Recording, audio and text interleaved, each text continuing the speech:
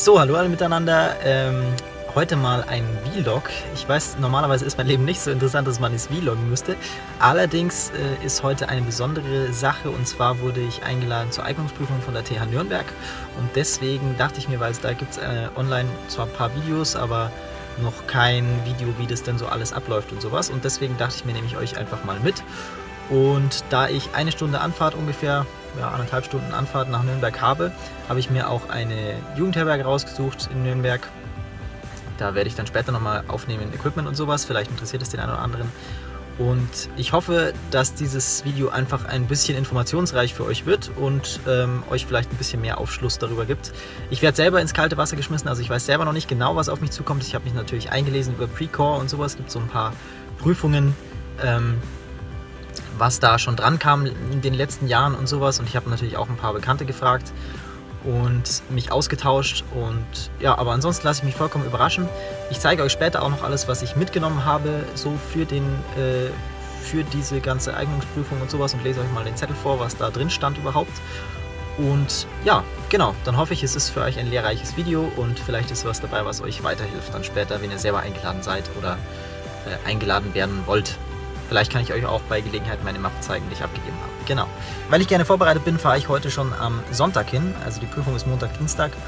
Und äh, schaue mir das Ganze vor Ort nochmal an. Ich schaue mir nochmal die Parkplätze an dort, weil die sind nicht sehr gut gestreut, beziehungsweise man kann dann vier Stunden parken und das ist dann auch recht teuer irgendwie. Ähm, und deswegen suche ich jetzt erstmal heute noch eine, ein paar freie Stellen. Ich habe schon auf Google Maps und sowas geschaut. Da ist vielleicht ein cooler Platz, wo man noch gut parken könnte und wo man in der Nähe parken könnte. Genau.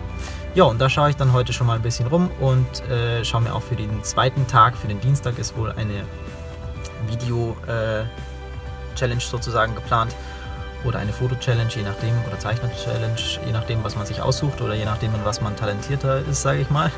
Ähm, und deswegen suche ich da schon äh, Parkplätze, wo man das ganze Equipment vielleicht auch oder wo man Equipment notfalls haben könnte im Auto dann zum Beispiel zwischenlagern könnte oder sowas, wenn man denn raus darf. Ich habe jetzt ungefähr schon die Hälfte geschafft von der Autofahrt her und jetzt werde ich nochmal weiterfahren. Ich dachte mir gerade auf der Autofahrt hierher, äh, ja, vielleicht mache ich noch doch schnell ein Video einfach und äh, mir ist die Idee spontan gekommen, also vielleicht wird es ja cool, vielleicht ist es hilfreich für den einen oder anderen und ähm, genau, in diesem Sinne, bis gleich. So, nachdem ich jetzt bestimmt zwei, drei Mal eigentlich schon bei der TH Nürnberg gewesen bin, habe ich mittlerweile auch echt den richtigen Parkplatz gefunden. Ähm, der ist mir nämlich nur bisher nie so wirklich aufgefallen. Direkt vor der TH Nürnberg ist natürlich ein Parkplatz. Und es soll auch eine Tiefgarage geben da hinten. Aber hier kommt man auch rein, wenn man ein bisschen geradeaus weiterfährt. Genau, dann kann man hier so einliegen. Ist auch ganz cool. Nur für Studierende der Hochschule Nürnberg auf eigene Gefahr. Ja. So, also nochmal zusammenfassen. Es gibt wohl genügend Parkplätze. Ähm, ich bin bloß immer von der falschen Seite gekommen und deswegen sind mir die nie so wirklich aufgefallen. Ähm, auch die Kosten günstig sind oder kostenunpflichtig sozusagen, also kostenlos sozusagen. Genau. Ähm, und zwar sind die direkt von der TH Nürnberg und die sind direkt nebendran. Also, hey, sind mir ehrlich gesagt bisher nie aufgefallen. Und äh, ich versuche jetzt nochmal so zu fahren, dass ihr die auch komplett seht, dass ihr da am Anfang keine Probleme habt, falls ihr das erste Mal dort sein solltet. Genau, und ihr müsst eigentlich bloß ein bisschen anders fahren, nicht so wie es Navi euch lutzt. Und äh, die Schule, die WG hinten für Design ist sowieso ein bisschen uneinsichtig, sage ich mal. Also bei der TH Nürnberg sind die Parkplätze übrigens für die Studierenden, also je nachdem, wie man, wie illegal oder legal man parken möchte. Es gibt beide Möglichkeiten. Ähm, es gibt nämlich auch noch die Möglichkeit, hier äh, den anderen Parkplatz zu nutzen. Da habe ich gerade einen älteren Herrn gefragt, der meinte, im hinteren Teilbereich, auch wenn es von, von vorne so aussieht, sind auf jeden Fall meist ein paar Parkplätze frei, ähm, auch werktags. Und genau, also es gibt beide Möglichkeiten sozusagen, direkt an der TH Nürnberg und auch ein bisschen entfernter. So, ich bin in der Jugendherberge angekommen und jetzt lese ich mal ganz kurz die ganzen äh, Zutaten mit sozusagen, die wir mitbringen müssten, mussten. Ähm, Mitzubringen sind steht in der E-Mail 15 Zeichenblätter, Format DIN A3, leichter weißer Karton DIN A3. Ich habe übrigens äh, in unserem Schreibwarenhandel habe ich übrigens keinen Karton DIN A3 gefunden. Ich habe was im Internet bestellt und da habe ich gleich 25 Blatt bekommen. Super. Dann verschiedene Bleistifte, hart und weich, Filzstifte, Radiergummi, Schere, Klebestift, Kleber, Winkel, Lineal, Zirkel, Aquarell- oder Temperafarben und Pinsel. Dann zusätzlich für Bewerber mit einer Fotomappe, digitale Kamera, Laptop, ein DVD-Rolling, wahrscheinlich weil da die Bilder drauf gebrannt werden natürlich. Ich schätze, das gilt dann auch für den Videobereich. Dann für den Videobereich auch noch ähm, Videokamera und Aufnahmematerial sollte mitgenommen werden. Videokamera und Aufnahmematerial sollte mitgenommen werden. So, ich zeige euch jetzt mal ganz kurz, was ich mitgenommen habe. Ich habe übrigens jetzt auf die andere Kamera geswitcht. Ich hoffe, das ist passend. Ähm, ja, schauen wir uns einfach mal an, was ich mitgenommen habe. Ich habe, glaube ich, viel zu viel mitgenommen, aber lieber zu viel dabei und vielleicht auch was im Auto dann verstaut und später äh, angreifbar, als dass mir dann am Ende irgendwas fehlt. So, da zeige ich euch mal, was ich hier mitgenommen habe. Ich habe unter anderem...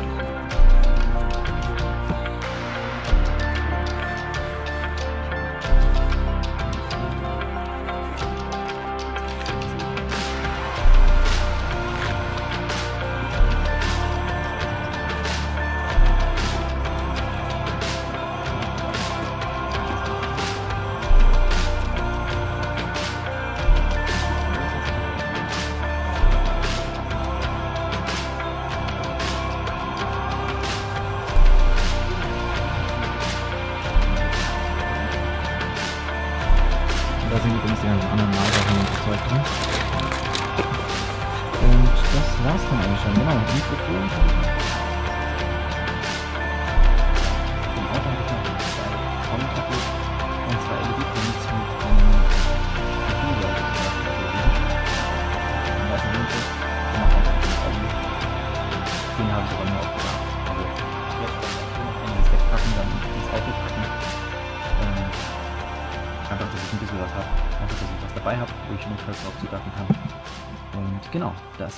vom Equipment-Check.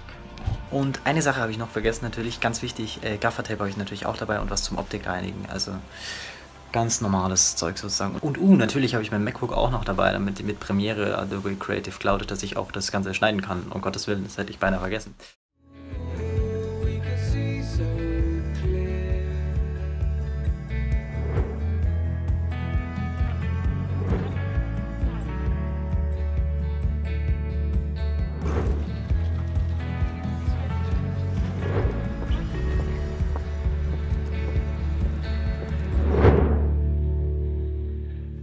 Guten Morgen, es ist 7.06 Uhr.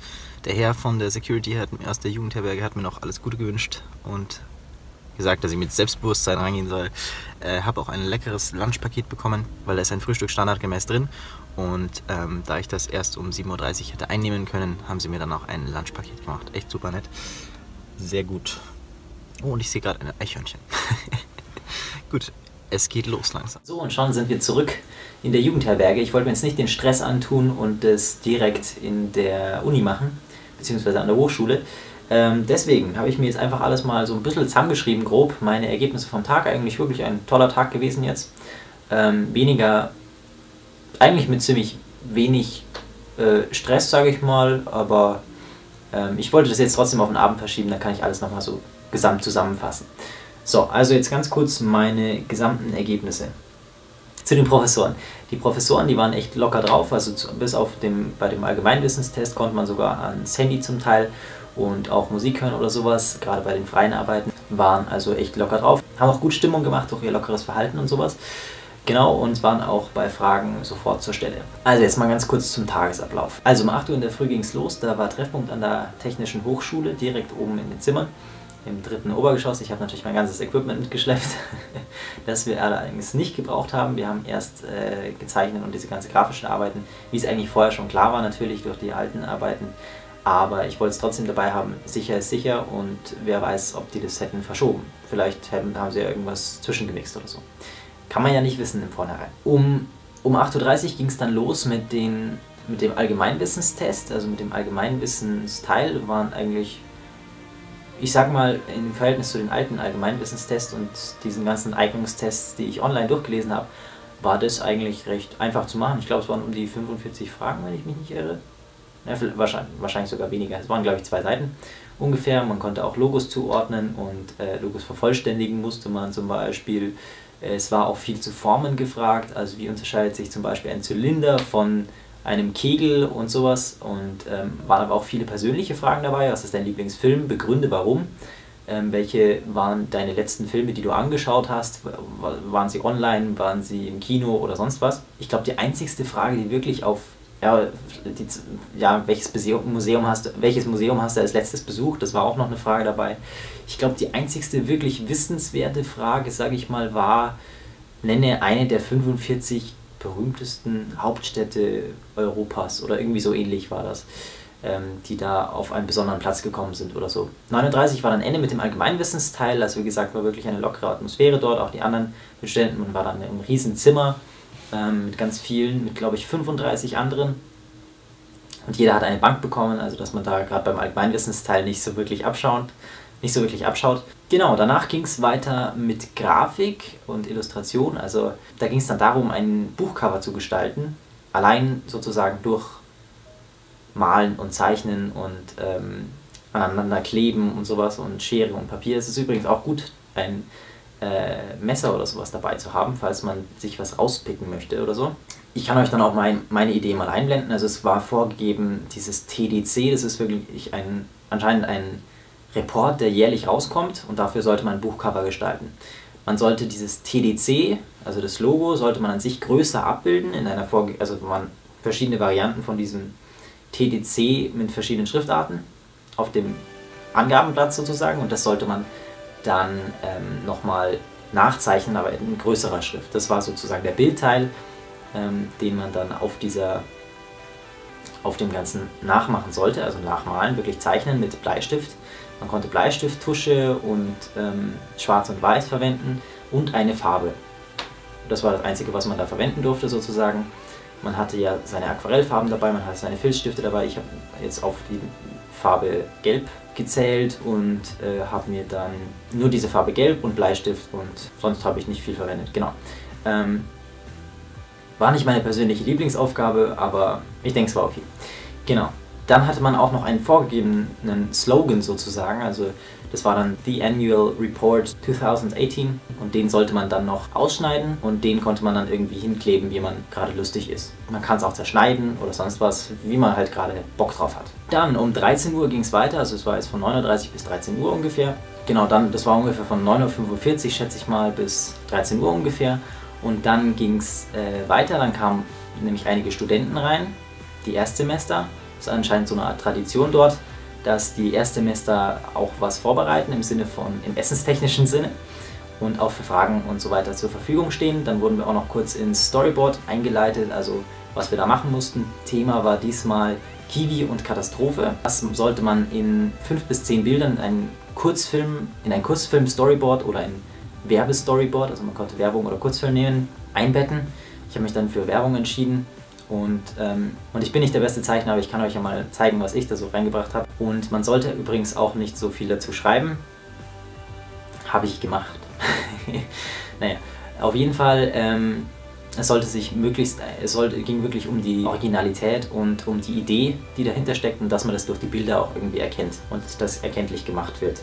Bevor man dann zum Zeichnen kam, also vom Storyboard, man hat die Aufgabe bekommen, aber man konnte noch nicht direkt loslegen, man kann sich, konnte sich vorher noch ein paar Gedanken machen. Man konnte mit den Studenten dort schon reden, mit den Erstsemestern.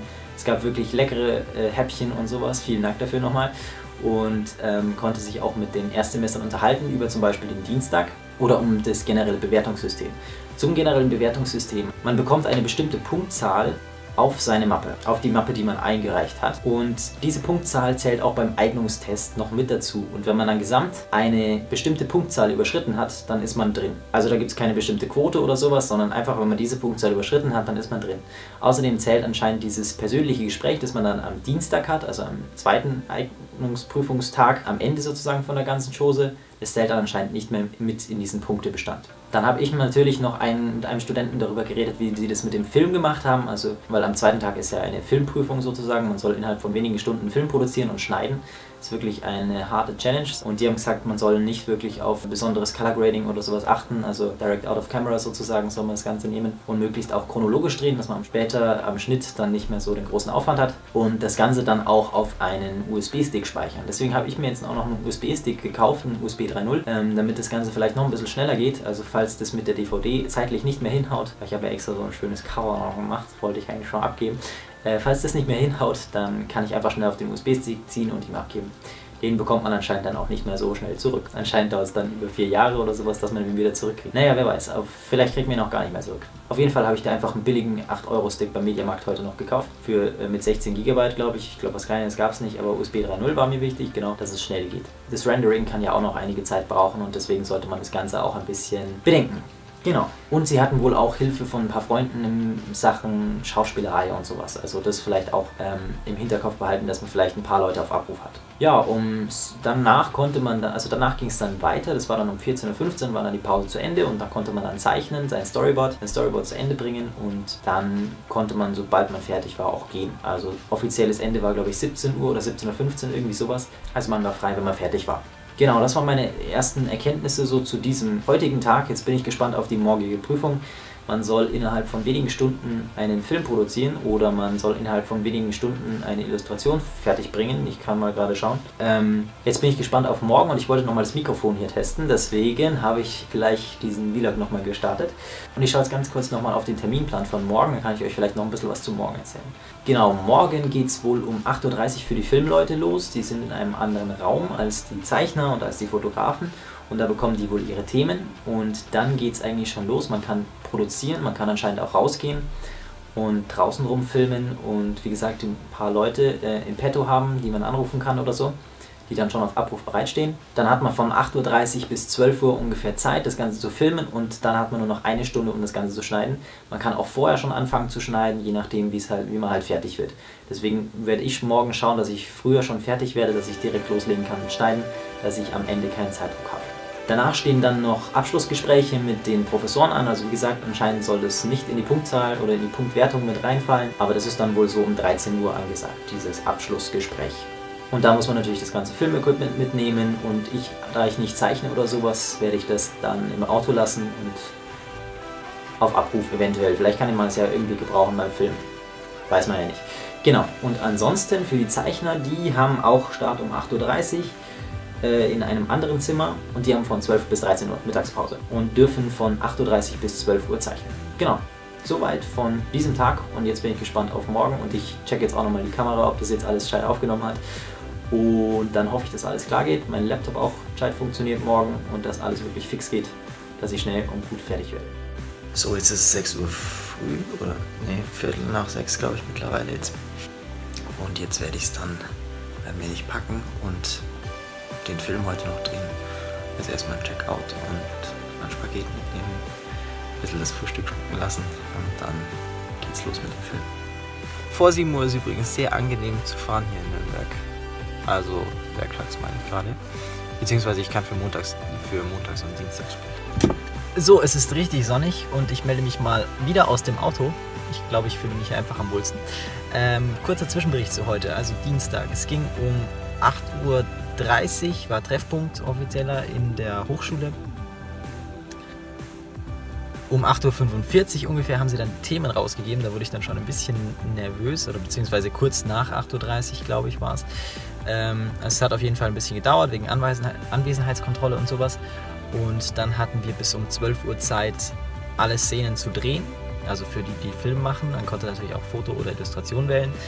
Für die kann ich jetzt allerdings nicht sprechen, weil ich jetzt den Film genommen habe. Das waren noch mit mir vier andere, glaube ich. Der andere ist auch sehr gut durchgekommen äh, mit seinem Film. Also der hat, glaube ich, um halb elf das Schneiden angefangen von seinem Material. Und ich habe mir das Ziel gesetzt, um 11 Uhr anzufangen mit Materialschnitt und habe um halb zwölf, glaube ich, oder Viertel nach elf, irgendwie sowas um den Dreh angefangen zu schneiden. Bin dann in den letzten Minuten fertig geworden und er hat auch, der andere hat auch noch äh, gerechnet, also der gerendert sozusagen ähm, und das Ganze auf DVD oder USB-Stick dann gezogen.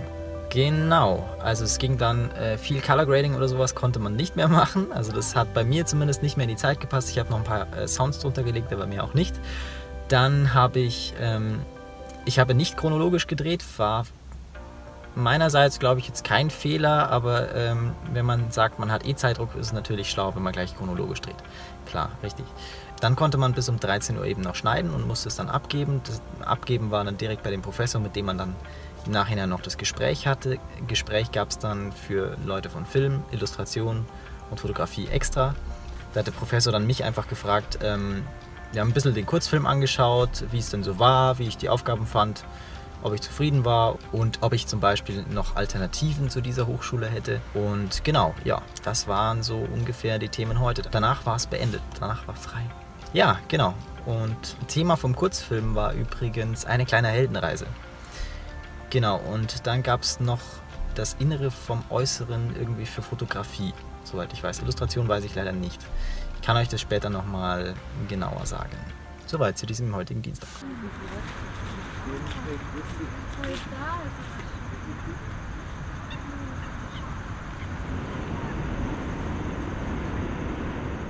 you.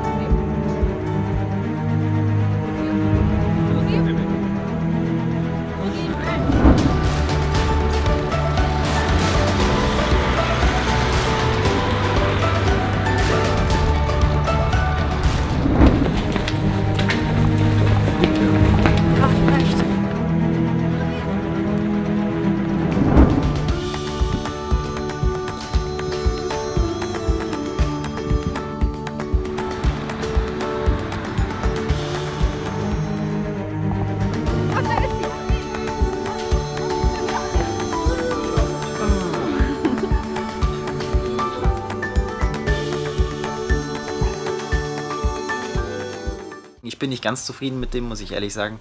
Ähm, aber für die wenige Zeit und wir hatten eine ganz kleine Schauspielerin dabei. Keine Sorge, die Kleine war die ganze Zeit in Sicherheit. Die Eltern waren ganz in der Nähe immer und sind sehr gut versteckt. Und eine Sache mache ich auch noch von zu Hause. Ich wollte euch noch meine Mappe zeigen. Ich habe noch keine Rückmeldung von wegen, wie, welche Note oder wie viele Punkte das hatte. Aber ich zeige euch jetzt einfach mal, wie meine Mappe ausgesehen hat. Zwei, drei Bilder muss ich weglassen, weil die FSK 18 sind. So, das war meine Mappe, eine DIN A4 Mappe. Und die zeige ich euch jetzt mal. Man soll ja mit dem beginnen, was man persönlich am besten findet oder was am meisten Mühe gekostet hat. Also das Beste sozusagen, mit dem soll man beginnen. Ich habe jetzt hier mit vier Beschreibungen von vier Clips, die auf den folgenden beiden DVDs drauf sind, drauf gespeichert sind. Das sind Daten-DVDs und da sind jeweils dann, glaube ich, zwei Clips drauf. Und hier habe ich ungefähr beschrieben, was ich gemacht habe, also meinen Anteil und was andere gemacht haben, die auch an diesen Projekten beteiligt waren. Genau, das habe ich auf einen schwarzen DIN A4 Karton mit so äh, CD-Tapes gemacht. Also es sind so spezielle Etiketten, dass die Daten-DVDs halten. Genau. Dann musste man eine Arbeitsprobenklausel, die wird vorgegeben, von denen einfach da auch mal informieren, ähm, dass man alles selbst angefertigt hat und das dann entsprechend angegeben hat, wenn man etwas nicht eigenständig gemacht hat. So, und jetzt überspringen wir noch einen organisatorischen Part. Moment, da muss ich auch wieder umdrehen.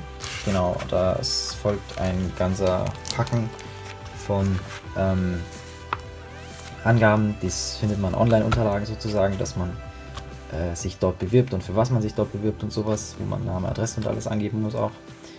Und Unterschrift glaube ich auch nochmal und ankreuzeln muss und sowas. Genau, und dann geht es schon los. Dann habe ich meine Bilder habe ich bei einem Fotolabor drucken lassen, also etwas bessere Qualität, und dann auf DIN A4 Karton aufgeklebt. Genau, das war jetzt aus einer Eventreportage sozusagen. Ich habe für mich, das soll man eigentlich nicht machen, aber ich habe äh, äh, für mich immer hier draufgeschrieben, was vorne äh, was vorne der Inhalt war oder was dahinter gesteckt hat. Genau, hier war es jetzt eine Art Event, äh, Event-Reportage bzw. Reportageserie, äh, wo die Aufgabe, es war meine ursprünglich eine Bewerbungsaufgabe einer anderen Uni, wo es darum ging, eine ehrenamtliche arbeitende Person ähm, festzuhalten in ihrem Arbeitsalltag mit Gefühlen, Emotionen und so weiter und so fort. Genau, dann haben wir hier ein Beauty. Die Gedanken sind bunt, habe ich es genannt. Ja. Dann hätten wir hier noch ein Modelbild oder ein Fashionbild. So, und jetzt muss ich kurz Break machen, weil jetzt muss ich stoppen. Ähm, FSK 18 und so. So, dann habe ich hier noch ein Foto mit einem Model. Augenblick und Sehnsucht habe ich das Bild genannt. Ja. Dann geht es hier noch weiter. Oh, das ist spannend. Das ist eigentlich lustig, wir so. Das war bei Dino Weigert Film, einer Praktikumsfirma von mir, war das eine Aufgabe, die ich bekommen habe, nämlich einen Apfel oder eine Tomate, glaube ich, war es damals, mit Emotion auszuleuchten. Oder beziehungsweise mit in einer bestimmten Situation auszuleuchten, mit einem einheitlichen Hintergrund und nur einem Licht. Genau, also bei mir ging es um alleinstehend und Berühmtheit.